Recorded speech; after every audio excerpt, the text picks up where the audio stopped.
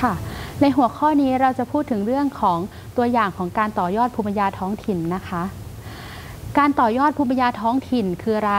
การต่อยอดภูมิปัญญาท้องถิ่นก็คือ การนำภูมิปัญญาท้องถิ่นมาบูรณาการด้วยศาสตร์และเทคโนโลยี เพื่อพัฒนาภูมิปัญญาท้องถิ่น ให้มีมูลค่าเพิ่มมากขึ้น หรืออำนวยความสะดวกให้กับชุมชนและท้องถิ่น การต่อยอดภูมิปัญญาเป็นการสร้างทางเลือกใหม่เท่านั้น ไม่ได้เป็นการที่จะทดแทนภูมิปัญญาดั้งเดิมแต่อย่างใด แล้วการต่อยอดภูมิปัญญาท้องถิ่นหรือการพัฒนาภูมิปัญญา เราจะมีวิธีการทำยังไงบ้าง 1. รวบรวมภูมิปัญญาที่มีอยู่ในระบบ 2. วิเคราะห์จัดลำดับความสำคัญ 3. นำมาพัฒนาโดยบูรณาการร่วมกับศาสตร์และเทคโนโลยีสมัยใหม่ เช่น งานวิจัย 4. นำไปถ่ายทอดและทดสอบการใช้ประโยชน์ในท้องถิ่นและพื้นที่อื่น ๆ เช่น การบริการวิชาการ และ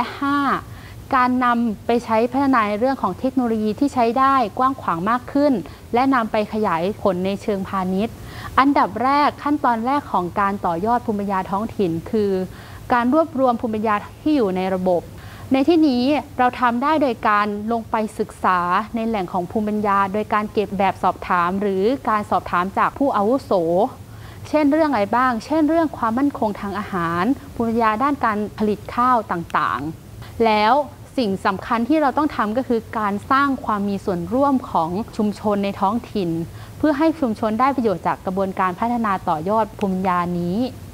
ส่วนข้อ 2 วิเคราะห์และจัดลำดับความสำคัญภูมิปัญญาที่มีศักยภาพในการพัฒนา โดยใช้กระบวนการมีส่วนร่วม เพื่อวิเคราะห์ว่าภูมิปัญญาแบบชนิดไหนมีความสำคัญที่จะสามารถสร้างมูลค่าเพิ่มได้ และจะสร้างประโยชน์ให้กับสังคมในวงกว้างได้มากขึ้น ขั้นตอนที่ 3 การนำมาพัฒนาโดยบูรณาการร่วมกับศาสตร์ และก็เทคโนโลยีสมัยใหม่ อย่างเช่น การวิจัย การนำภูมิปัญญานี้มาใช้ในการวิเคราะห์ว่า เหมาะแก่การพัฒนาต่อยอดให้เกิดประโยชน์ต่อชุมชนสูงสุดหรือไม่ โดยการนำหลักทางวิทยาศาสตร์ เทคโนโลยีสมัยใหม่ เพื่อสร้างทางเลือกใหม่ ให้กับชุมชนในการผลิต การตลาด การจัดการ และก็การป้องกันและก็การอนุรักษ์สิ่งแวดล้อมด้วย ตัวอย่างอาอาจารย์จะขอยกตัวอย่างในเรื่องของการพัฒนาต่อยอดภูมิปัญญาท้องถิ่นนะคะ เราทุกคนจะสวมใส่นาฬิกา แต่ในยะของนาฬิกาในการสวมใส่ของคนเราไม่เหมือนกัน บางคนสวมใส่นาฬิกาเพื่อเป็นเครื่องประดับ และบางคนสวมใส่นาฬิกาเพื่อเป็นเครื่องบอกเวลา แล้วเราจะสามารถต่อยอดภูมิปัญญาเหล่านี้กับนาฬิกาได้ยังไงบ้าง เราจะเห็นว่ามีการนำอักขระลงยันมาใช้ในการต่อยอดและก็พัฒนาผลิตภัณฑ์นาฬิกา โดยอิงกับหลักความเชื่อของคนเราทำให้ความเชื่อสามารถจับต้องได้ ความเชื่อสามารถขายได้จากนาฬิกาเรือนละร้อยสองร้อยอาจจะกลายเป็นนาฬิกาเรือนละพันก็เป็นได้นะคะ หรือแบรนด์ของหาร หารในที่นี้คือแบรนด์สปาที่รับความนิยม 16 ประเทศทั่วโลก หารได้รับแรงบันดาลใจจากวัฒนธรรมอของไทยเรานะคะ สัญลักษณ์ของหารคือรูปดอกบัวที่แสดงถึงความดีความบริสุทธิ์ ผนวกกับดอกจอกที่อยู่ในเพดานวัด ถ้าใครยังไม่เคยเห็นดอกจอกให้ไปที่วัดใหญ่ก็ได้นะคะะเพื่อที่จะดูว่าดอกจอกในเพดานวัดเป็นยังไงบ้างนำมาผนวกด้วยการกลายเป็นเหรียญดอกบัว เป็นสัญลักษณ์ของหารที่แสดงถึงวัฒนธรรมความเป็นไทยนะคะ แล้วบรรจุภัณฑ์ของหารพัฒนามาจากอะไร พัฒนามาจากลวดลายผ้าของไทย เกิดเป็นบรรจุภัณฑ์ที่มีสัดส่วนมีลวดลายที่แสดงถึงองค์ประกอบที่สวยงาม นอกจากนี้หารยังได้แรงบันดาลใจมาจากสมุดข่อย สมุดใบลานที่ใช้ในการเรียนของพระในอดีต หารนำมาทำเป็นแผ่นพับ การสร้างแผ่นพับแบบนี้เป็นการสร้างความแตกต่างจากผลิตภัณฑ์ หรือการสร้างความแตกต่างในด้านของการนำเสนอจากผลิตภัณฑ์ส่วนอื่นนะคะ แล้วผลิตภัณฑ์ในเรื่องของเทียนหอมของหารล่ะทำจากอะไร โดยหารลอกเลนแบบความคิด หรือได้แรงบันดาลใจมาจากเครื่องปั้นดินเผาสมัยลบบุรีทำให้ผลิตภัณฑ์เทียนหอมของหารมีรูปแบบรูปทรง ที่แสดงถึงความเป็นอดีต มีลักษณะความอ่อนช้อย เหมือนเครื่องปั้นดินเผาในสมัยลบบุรีนะคะ แล้วรูปทรงของผลิตภัณฑ์ของหารล่ะหารได้แรงบันดาลใจมาจากการทำบรรจุภัณฑ์ให้เป็นรูปหกเหลี่ยม เราจะเห็นว่าบรรจุภัณฑ์ในปัจจุบันจะเป็นรูปวงกลมวงรี แต่การทำให้บรรจุภัณฑ์มีมิติ ที่หลากหลาย เป็นมิติหกเหลี่ยม จะพบเห็นได้น้อยทำให้บรรจุภัณฑ์ของอาหารเป็นบรรจุภัณฑ์ที่ได้รับความสนใจจากผู้บริโภค และอีกอย่างหนึ่งคือ การนำข้าวซึ่งเป็นวัฒนธรรมของคนไทยมาผลิตเป็นสบู่ นอกจากหารจะนำข้าวมาผลิตเป็นสบู่ เพื่อใช้ในธุรกิจสปาของตนเองแล้ว หารยังทำ สบู่ให้มีรูปแบบลักษณะเหมือนเมล็ดข้าว ให้ลูกค้าที่บริโภคให้รู้สึกว่าคุณได้สัมผัสถึงความเป็นวัฒนธรรมข้าวจริง ๆ แล้วการพัฒนาต่อยอดผลิตภัณฑ์จากผ้าทอมือล่ะ อาจารย์จะขอยกตัวอย่างเสื้อมอห้อม เสื้อมอห้อมถ้าเราซื้อตามตลาดทั่วไป อาจจะราคา 200 หรือ 250 แต่ถ้าเรานำผ้า หรือลวดลาย เช่นผ้าตีนจกของภาคเหนือ มาประกอบเพื่อสร้างความสวยงามและแตกต่าง และตัดเย็บให้เกิดความทันสมัย ให้เหมาะสมกับยุคกับสมัย แล้วก็สามารถใส่ได้ในทุกโอกาส เป็นการสร้างมูลค่าเพิ่มให้กับสินค้านี้มากขึ้น เสื้อมะห้อมที่เห็นในตัวอย่าง อยากให้นิสิตลองเดาว่าราคาประมาณเท่าไหร่ อยากให้คิดในใจบางคนอาจจะคิดว่าไม่ถึงพันหรือ แค่ไม่กี่ร้อย แต่จริง ๆ เสื้อมะห้อมที่นิสิตเห็นใน